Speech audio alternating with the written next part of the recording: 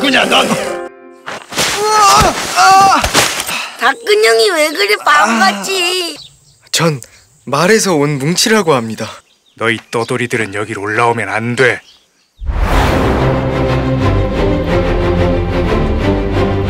우리도 산에서 살면 안 돼요? 거기도 우리 같은 개들이 살고 있다고요. 아 걔들이 그냥 걔인 줄 알아? 걔들은 산의 무법자요 무법자 왜 우린 사람한테 버려졌는데 사람이 먹다 버린 쓰레기나 얻어 먹어야 되죠? 왜 숨어 살아야 되냐고요?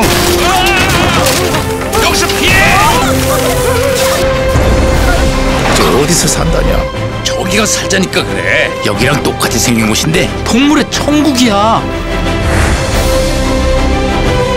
이 낙원을 찾을 때까지 이 그때까지만 이 협력하는 거라고 요 어서들 가요.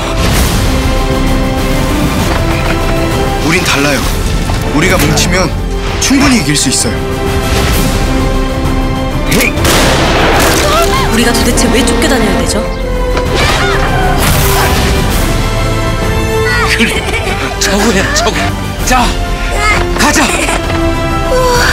여긴 우리들 세상이야. 빨리 가자 뭉치